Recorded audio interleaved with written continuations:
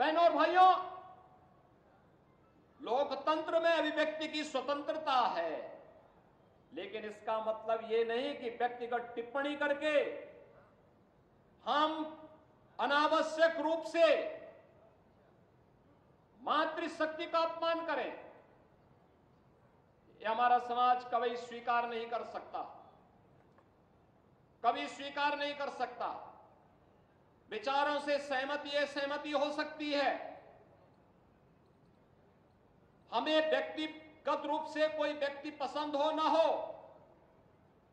लेकिन हम कला को, संस्कृति को, राष्ट्रीयता को, या किसी जाति को टारगेट नहीं कर सकते।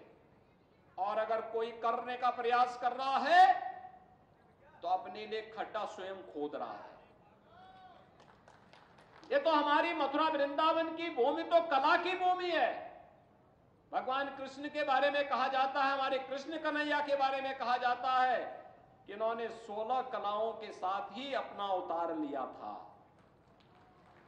जब सोलह कलाओं के साथ, संपूर्ण कलाओं के साथ अवतार लिया था तो कला का सम्मान करने का इससे अच्छी भूमि दूसरी कौन हो सकती है? और इसीलिए भारत की सिने जगत की सबसे सुविख्यात अदाकार के रूप में जिन्होंने अपनी कला और अपनी प्रतिभा के माध्यम से भारत की परंपरा को, भारत की संस्कृति को, भारत की सिने जगत को, भारत की परंपरागत परंपरा और संस्कृति की कला को वैश्विक मंच पर स्थापित करने में अपना पूरा जीवन लगा दिया हो। और जिसके मंचन को देखने के लिए आज भी लाखों लाख लोग जुड़ते हैं, चाहे वे गंगा की प्रस्तुति हो, चाहे वह मीराबाई की प्रस्तुति हो, चाहे वह माँ दुर्गा की प्रस्तुति हो, उस कला का सम्मान कौन भारतीय नहीं करेगा? कौन भारतीय नहीं करेगा?